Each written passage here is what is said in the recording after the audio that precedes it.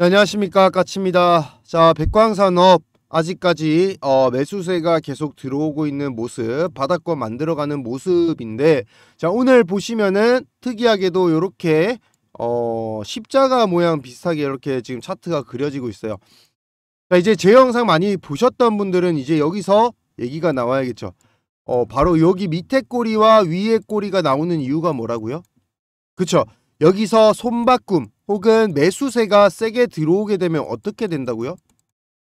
바로 오버슈팅 그러니까 한마디로 꼬리를 달 수밖에 없게끔 이렇게 상승이 나올 수밖에 없습니다 왜요?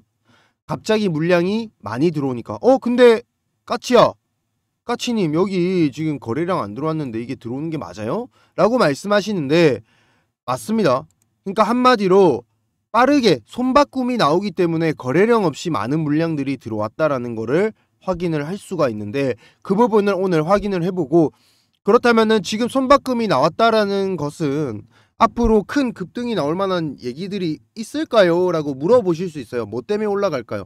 그러니까 그런 의문증을 이제 드시는 분들이 나와야 정상이겠죠. 음, 그것까지 제가 어떤 내용으로 지금 다시 한 번 더 반등을 만들어 가려고 하는 건가 한번 말씀을 드려보겠습니다. 그러면은 자 일단은 그러면은 지금 왜 상승이 나왔고 혹은 왜 지금 여기서 머물고 있는지에 대한 내용들 그리고 앞으로 수혜가 될 만한 내용들이 뭐가 있는지 보면서 또 말씀을 드릴게요. 자 일단은 보시면은 어 세력들 매수세 계속 들어오고 있다라고 분명하게 어 보여드리고 말씀을 드렸습니다. 자 보시다시피 여기 여기 마디 가격 7,300원, 7,200원 세력의 매수가라고 제가 저번 시간부터 말씀을 드렸고 어, 백광톡에서도 말씀을 똑같이 드리고 있죠. 어, 실시간 대응방에서도 똑같이 말씀을 드리고 있는데 그만큼 지금 어, 수급이 세게 들어오고 있는 자리가 바로 여기 자리 그리고 여기 자리는 내려가도 여러분들이 눈으로 보고 대응하기 힘들다. 그렇다면은 7,300원, 200을 살려면 어떻게 해야 된다고요?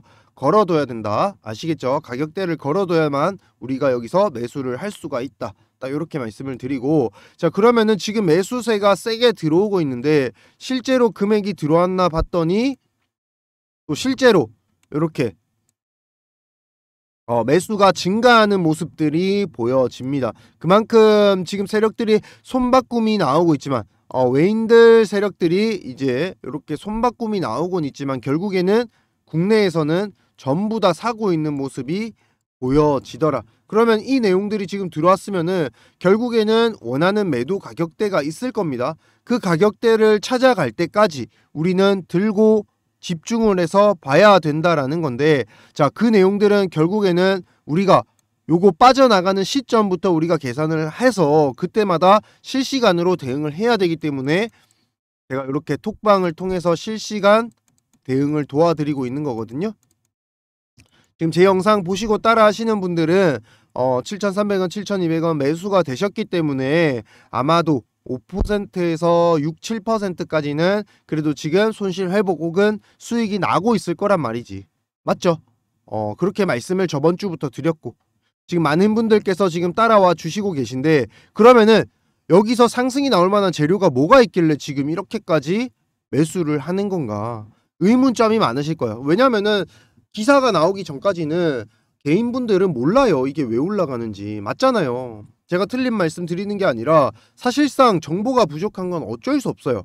그러면은 그에 따른 유추도 해야 되는데 유추도 안 되고 정보도 없고 아는 것도 없고 이러면 힘들단 말이야 공평하게 투자를 하고 개, 경쟁을 해야지.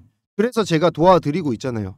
그쵸? 자, 구독, 좋아요 눌러주시고 필요하신 분, 단기적 대응 필요하신 분들은 빠르게 빠르게 백광톡이라고 문자 주세요. 자, 그러면은 제가 어떤 내용이 나올 수 있는지 지금부터 보여드릴게요. 이 내용이 나오면은 일단 급등은 시작된다라는 거. 출발 신호는 나온다라는 거를 보여드릴게요. 자, 일단은 첫 번째가 뭐냐? 바로 이겁니다. 백광산업이 새만금의 어, 전구체, 양극재 전구체 투자 최대 수혜주라고 이렇게 한번 올라왔던 적이 있었어요. 4월 달에. 이렇게 나왔던 내용 중에 하나가 뭐냐면 바로 바로 요겁니다. 여기 지금 작아서 안 보이는데 제가 읽어 드릴게요. 백광산업은 특히나 국내 수산화 나트륨 업체 중에서 새만금 산단 내에서 최대 카파를 보아, 보유한 업체로 구조적 수혜가 전망된다. 그러니까 새만금 내에서 가장 이 규모가 크다라고 보시면 돼요. 구조적으로. 그래서 수혜가 선망 전망된다라고 지금 평가가 되고 있거든요. 전구체 생산 능력이 65만 톤으로 확대. 그러니까 굉장히 이제 규모가 크죠. 그렇다면은 이 규모만큼을 전부 다 소화를 할 수 있을까? 라는 의문점이 드실 수 있습니다. 이걸 다 받아가는 업체가 있을까? 라는 이제 생각이 드는 건데 일단은 생산 능력을 보유한 거예요. 캐파 능력을 보유했다는 거는 생산 능력을 보유했는데 그렇다면은 이 능력을 통해서 그만큼의 매출을 받아줄 만한 기업이 있어야겠죠. 맞나요? 그래서 다음 나오는 내용이 중요한 겁니다. 여기서부터 중요한 거. 바로 이겁니다. 요거 아무도 모르셨을걸요? 지금 새만금, 즉, 이 전북 전라북도의 도지사 김관영 이 도지사님께서 일론 머스크한테 편지를 두 차례나 썼어요. 6월 말에. 새만금에 테슬라 오라고. 기가팩토리 유치해 달라고. 분명히 물론 이렇게 편지를 썼다고 해서 기가팩토리를 유치하겠다. 뭐 이렇게 얘기는 안 하겠죠. 그렇죠? 물론 그렇게 뭐 단순하게 편지 한 통 썼다고 갑자기 막 뭐 factory를 짓는다 이렇게까지는 되는 건 아니지만 분명 답은 올 겁니다. 맞나요? 답이 올 거예요. 좋게 보고 있다, 뭐 지을 예정이다, 한번 방문할 예정이다. 요거 답장 하나만 와도 급등 나오는 거 순식간입니다. 지금 테마주로 엮여있기 때문에 이게 급등을 만들기 위한 저는 하나의 포석이라고 보여집니다. 초석이라고. 요거 요거 아무도 관심 안 가졌을걸요? 왜? 쓸데없잖아. 뭐 편지 썼다고 갑자기 막 올라가고 이런 거 아니잖아요. 여러분 생각하기엔 어떠세요? 편지 썼다고 갑자기 뭐 내가 이 회사 취직하고 싶은데 편지 썼다고 받아주나요? 그게 아니라 노력이 가상해서라도 답장 한 통은 주겠죠. 어, 긍정적으로 생각하고 있다. 뭐 이런 내용들. 그러면 그냥 가는 겁니다. 백광산업. 그게 세력들이 올리는 방식이고 우리가 모르는 그런 수급들이 몰리는 현상 중에 하나라고. 왜 수급이 몰렸고 왜 올리는 건지 몰라요. 테마주는 그냥 그런 기대감으로 가버리는 거니까. 근데 지금 그 기대감을 어떻게 하고 있어요? 저런 편지 같은 걸로 밑에 초석을 다지고 있고 답장 한 번만 와도 급등 나온다고. 어디서? 바로 여기 자리에서 7,300원, 7,200원에서. 그러니까 이 자리를 안 무너뜨리고 있지. 여러분들 같으면 이 자리 무너뜨리고 싶으세요? 저 같으면은 그냥 이 자리 지켜 있다가 나중에 급등 만들어낼 것 같은데. 못해도 9,000원에서 만원 사이는 뚫고 가줄 만한 슈팅은 나올 수 있다. 물론 여기서 이제 더 나올 만한 내용들이 필요하겠지만 일단은 2차 전지. 백광산업 하면은 2차 전지, 양극재, 양극재 전구체 관련한 거 분명히 얘기 나옵니다. 2차 전지 지금 좀 있으면은 뭐 나온다고요? 더군다나 테슬라 실적 발표 나옵니다. 맞죠? 지금 7월 달입니다. 2분기 실적 발표 나옵니다. 실적 발표 나오면서 증설 얘기 나오는 거는 그냥 패턴이라고 보시면 돼요. 왜? 잘 나가는 기업이 매출이 올라간 기업이 증설해서 매출을 더 폭발 성장시키려고 한다라는 기대감.